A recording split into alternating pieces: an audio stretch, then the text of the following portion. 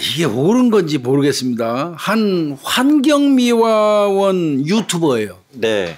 이 사람이 빌라에 투자를 했는데 성공해서 한 27억 원 정도 재산을 모았다.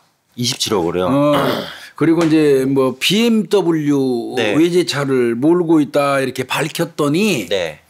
그 아마 유튜브를 통해서 밝힌 것 같아요. 네. 그랬더니 그 소속 구청에 해고하라고 민원이 빗발치 들어온대요.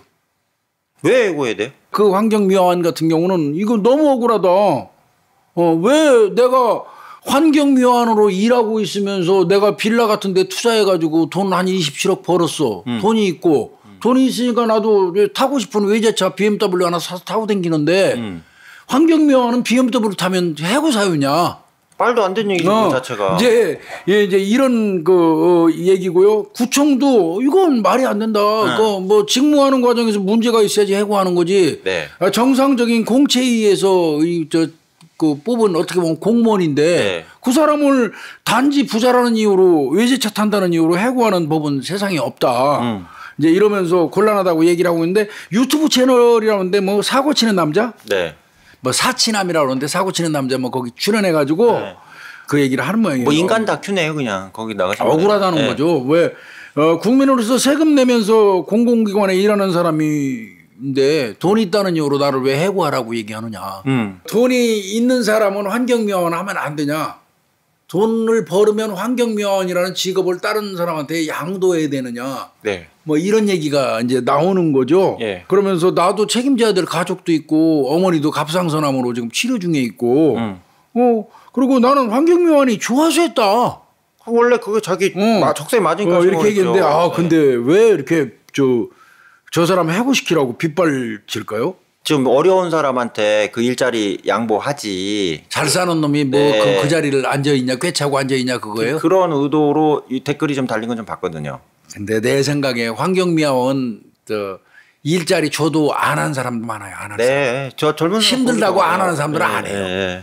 나 사실 환경미화원분들 일하시는 거 이렇게 보면 엄청 고생해요. 네. 이게 그런 식으로 한다고 그러면 자본주의 사회에서는 그러면 돈 많으면 직업도 마음대로 가질 수 없다는 직업 선택의 자유는 뭐저 헌법상 명기돼 있는 자유예요. 네.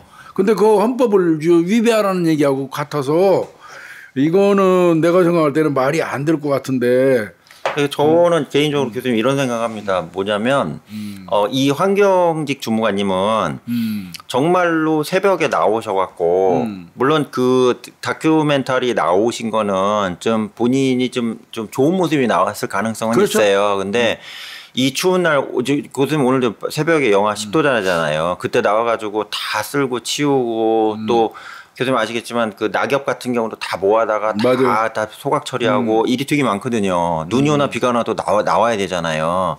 그럼 이분이 자산을 모은 거는 자기의 재테크를 통해서 따로 자산을. 불린 거고 환경 미화원 활동으로 벌어든 돈이 아니에요. 네. 그거는 별개 문제고 그렇죠. 이분이 자기 직무를 하는데 아무 하자가 없다면 이분도 정, 정당한 공채 과정을 거쳐서 들어온 어, 소위 말해 공무직이라고 그러잖아요. 음. 맞아요. 공무직 주무관인데 이분이 그냥 계속 그 일 하도록 냅둬야지 그걸 왜 저기 그만두러 하냐 이거죠 저는. 근데 아마 그 이제 방송 나와가지고 자기가 이제 돈 버는 게 부동산 경매 해가지고 열한 채 빌라를 내가 소유하고 있고 네. 어, 월세로 한 400만 원 포함해 갖고 한 1000만 원 정도 내가 수익이 있다. 네. 이렇게 밝히면서 이제 BMW 타고 출근한다. 네. 한 27억 정도 된다. 이런 네. 이제 영상을 공개했더니 이 이제 본인이 그 영상에 나올 때는 20, 30대한테 희망을 주고자 했대요. 음. 동기부여를 하려고. 네. 내가 환경명 활동 활동하면서도 이렇게 이렇게 투자해가지고 돈 벌고 그래서 나도 외제차도 좀 끌고 다닌다. 어 열심히 일하면 된다. 그렇게 그런 마음으로 나왔다는데 네. 그걸 본 사람들이 난리가 난 거죠. 난리가. 그러니까 뭐냐면 저기 응? 아니 부자는 그럼 환경미화원 하면 안 돼요? 그러니까. 공무원에도 안 되고요. 아 이거 네. 이분 뭐 그렇게 얘기했대요. 환경미화원 하게 된 이유도 고등학교 졸업장 가진 사람이 네. 연봉 5천만 원 이상 받는 직업을 찾다 보니까 미화원이었고 음. 복지 혜택도 좋다고 들었기 때문에 나 들어왔다. 네. 어 근데 에, 그만두라고 한다. 이건 좀 그렇다. 이제 이 얘기인데 글쎄요. 저는 이거는 해고시키라고 해고라는 얘기 자체도 또 그 너무 가- 강압적이잖아요. 아 그럼 강압적인 거죠. 잘못하지 않은 공무원은 왜 해고를 해요? 무슨 어떤 기준 명분? 무슨 기준으로 하냐 이거죠. 해고는 뭡니까? 공무원이 어 해고나 파면은 뭐예요? 중대한 어떤 그 어 저 비위를 저질러 가지고 어 공무원으로서 더 이상 공 그 복무할 자격이 없다고 판단되면 강제로 내쫓는 제도예요. 그렇죠. 예. 그 27억 재산 가고 BMW 타면 강제로 내쫓김을 당해야 되나요? 그게 말도 안 되는 얘기죠. 나는 왜 요즘에 우리 사회가 있잖아요. 이상해. 이- 이런 부분은 정말 고치긴 고쳐야 되고 누가 이거 그 어떻게 보면 이거 배 아픈 거거든요. 이건. 그러니까 제가 교수님 한 살에 또 말씀드리면 제가 이제 경찰학교 때 교수님 나갈 때 외래 교수 할때 한 이제 경찰이 저한테 상담을 했어요. 했는데 그게 나중에 이제 그 경찰 임용되고 나서 팀장이 물어보더래요. 그래서 내 아버지 어머니 뭐 하시노 이렇게 물어보더래요. 그래서 그냥 저기 뭐 빌딩 관리하고 계십니다. 그래서 그럼 아버지 무슨 빌딩 관리 소장하냐? 그래서 아니 그냥 두 채 가지고 있습니다. 그랬대요. 그랬더니 아, 그럼 아버지 어머니 재산이 어떻게 됐게 물어보더래요. 그 있는 대로 얘기했대요. 한 7, 80억 되는 것 같다고. 조그만 빌딩 두 개니까. 그랬더니 그 팀장 하는 얘기가 야, 너 같은 애는 그냥 아버지 어머니 재산 물려받아갖고 거기서 살지. 너 같이 부자인 애가 경찰관 하나 들어와서 좀 어려운 애들 공무원 들어오는 거 하나 막은 거 아니야. 이 얘기를 하더래요. 또라이 이게 아, 실제 들은 얘기예요. 그런 게 팀장을 하니까 이게 잘 안 굴러가는 그래갖고. 제가 지금 한참 전 얘기인데 제가 죄송한데 어떤 어떤 미친 인간이 그렇게 얘기했냐 그랬더니 어, 자기도 이해가 안 돼가지고 저 왜? 그건 아버지가 아버지 부자고 나는 공무원이 좋아가지고 정말 노량진에서 2년 동안 쎄빠지게 고생하면서 시험 봐서 들어왔는데 뭐 이런 얘기를 하더래요. 그러니까 저는 좀 이상한 게 그 좀 부유하면 좀 경제적 여유가 있으면 직업도 없어야 된다 이런 좀 쉽게 얘기하면 임대료만 받고 어, 봉사하는 직업이나 이런 것도 하지 말아야 된다는 이 사고 체계는 정말 저는 후진적이라고 아니 생각하거든요. 요상한 의식 세계예요. 말도 안 되잖아요. 야, 니네 집 부자니까 너는 그 음. 공무원 봉급 안 받아도 충분히 먹고 사니까 이 새끼 어머니 아버지한테 빌 붙어서 살고 그 말이 네 되잖아요. 자리 비워 임마 그러면 어. 어. 려워서 경찰 들어오고 싶으니 하나 저 기회를 주는 거잖아 이 얘기잖아요. 예, 예. 그게 무슨 논리예요? 그게 무슨 논리냐고 저도. 어? 그게 무슨 난 그거 모자란 거죠 모자란 거. 근데 그런 사고 체계를 가지고 계신 분이 생각보다 많아요. 네, 이거 그 그런 사고 체계를 가진 사람들이 빗발지듯이 들어와서 이 사람한테 27억에 BMW 구리는 놈이 환경미화원이 말이 되냐? 이거는 이렇게 말하는 순간 그 의식 속에 그 말 속에는 어떤 의식이 포함되어 있냐면 환경미화원은 못 사는 사람이래 맞아요. 된다는 의식도 맞아요. 깔려 있는 거 아니에요? 예, 예, 예. 그러면 환경미화원이라는 직업 자체를 예. 깔보고 무시하는 그 경시하는 풍조가 경시하는. 은근히 배어 있는 거 아니에요? 네, 그 사람들 거예요. 대가리 속에는 네. 어, 이건 진짜 잘못된 거죠. 네. 이건 분명히 말씀드리는데 해고하라고 어, 막 할 일 없이 막 이거 써대는 사람들은요 환경미화원은 부자가 아니라야 된다는 등식이 머릿속에 정립된 사람들이에요. 그건 나쁜 거예요. 아주 나쁜 거죠. 네, 아주 나쁜, 나쁜 거. 사고예요. 네. 어디 저 사고 방식이 썩어 문드러졌다고 그러죠 이런 얘기를. 그러니까 제가 이제 그 경제 쪽에 이제 범죄학 책을 보면 교수님 진짜 멋진 말이 하나 나와요. 뭐냐면 경제에서 핵심이 두 가지가 우리 범죄랑 연결이 되어 있는 게 있는데 첫 번째는 가- 열심히 일해서 돈 많이 번 가진 자를 적대시하면 어, 어, 쉽게 얘기하면 로빈후드를 의적으로 판단하는 이런 오류가 발생한다. 이게 경제범죄학의 첫 번째 나오는 거고요. 분명히 떼강도예요. 로빈후드는. 근데도 의적이다 이렇게 하는 게 나오고요. 두 번째는 가진 자를 적대시하는 문화가 발생하게 되면 사람들이 불법적인 방법으로도 가지려 하기 때문에 사기나 이런 경제범죄가 많이 발생할 수밖에 없다. 예, 왜?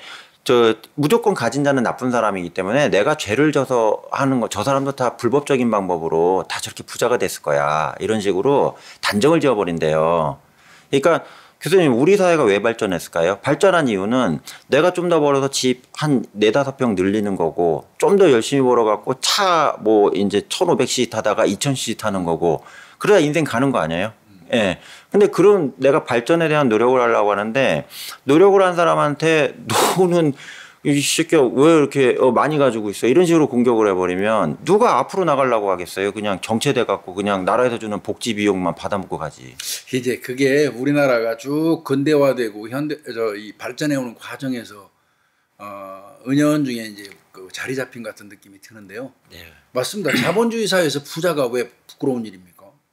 자본주의 사회에서 부자는 당당하고 떳떳하고 네, 자랑스러워야 예, 돼요. 예. 그게 자본주의잖아요. 네. 가진 자가 그만큼 노력했기 때문에 가진 자가 된 거니까. 근데 이제 우리 사회의 어떤 문제점은 부의 독점 때문에 그래요. 저도 그 얘기 하려고 그랬어요.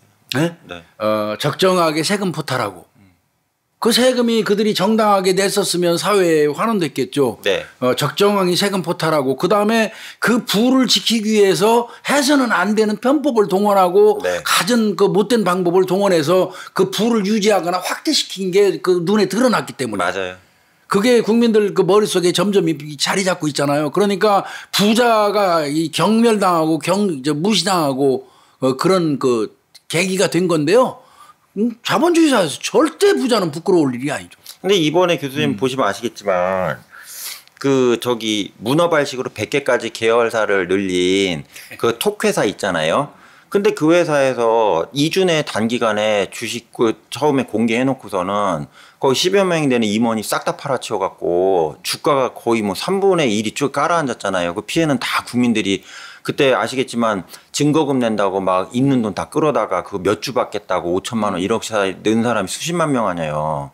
그러니까 그래갖고 시세차익 단기간에 5천 원짜리 있잖아요. 팔아가지고 300억, 400억씩 한 10명이 다 챙기고 법상으로는 불법은 아니에요. 지주식 지갑한 건데. 아니, 편법이 더 나빠요. 네. 어떤 때는. 근데 그거 보면 사람들이 무슨 생각을 하냐면 야, 저 따위로 다 돈 버는데 돈 버, 많은 애들은 다 부당한 방법, 그러니까 불법은 아니더라도 편법. 비난받을 만한 방법으로 다 빠져나가 돈 버는 거 아니냐. 이런 느낌이 이분한테 분노로 표출될 수도 있다는 걸좀 생각해 봐야 된다는 아니, 얘기예요. 그러니까 그런 부분은 예, 있어요. 그러니까, 예. 그러니까 어, 정말 그, 그 사회가 건강하려면 기업이 도덕적이라 해요. 맞습니다. 예. 근데 이제 그런 부분이 은연중에 작용하는데 나는 이제 그 그거까지는 우리가 너무 앞서간 것 같고 요 환경미화원 관련돼 가지고 해고시키라고 이건 굉장히 그 듣는 사람 입장에 굴욕적이에요.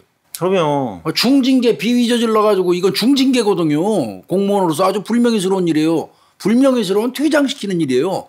해고는 파면 다음에 해- 해고잖아요. 근데 어떤 근거로 아무 이유도 없이 단지 내가 저 투자해서 돈 좀 벌었다는 이유로 해고해라 그, 그 그렇게 한다 그러면 잘못된 거고 다시 말씀드리지만 그들의 머릿속에는 환경미화는 부자여서는 안 된다는 아주 잘못된 의식이 이 자리 잡은 것 같다는 생각이 좀 들어요. 네. 아까 그 말씀하신 그 니네 아버지가 뭐 지구대 팀장인지 모르겠지만 니네 아버지가 뭐 7, 80억 가지고 있는데 뭐하러 경찰 들어와 가지고 경찰 한 사람 자리 뺐냐. 어, 이렇게 얘기했다고 말씀하셨잖아요. 어, 그 사람처럼 사고가 잘못된 거예요. 그 절대 그래서는 안 됩니다. 전 이 주무관님 열심히 일 계속 해주셨으면 좋겠어요. 어, 열심히 해야죠. 예, 자기 하는 일이니까. 어, 27억 가지고 있으니까 동료 또 이 저 환경미화원들한테 저 소주 사고 따끈한 국밥도 수시로 좀 사고 이게 돈을 가진 자가 가장 빛나는 순간이 언제인 줄 아세요? 사회적 아낌없이 탁탁 네. 그 동료들한테 쓸 사회적 때. 환원입니다. 일부러. 음, 네, 예. 네. 어, 아낌없이 저 지갑 열을 때 가진 자가 빛나는 겁니다. 저도 기부 열심히 하고 있어요. 열심히. 그래요.